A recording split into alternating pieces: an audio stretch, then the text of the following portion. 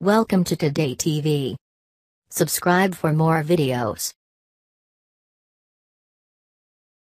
A sea vessel featured on Deadliest Catch, Dungeon Cove capsized in treacherous waters, tragically killing three fishermen.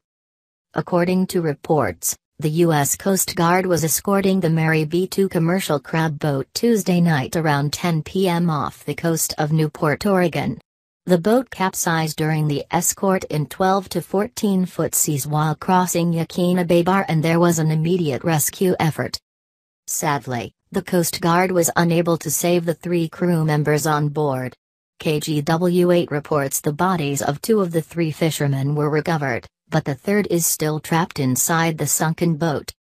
The Mary B2 was featured on the Discovery Show, and the premise of Dungeon Cove revolves around the danger of crossing the Newport Bar with a full load of crab, which is apparently what led to this accident.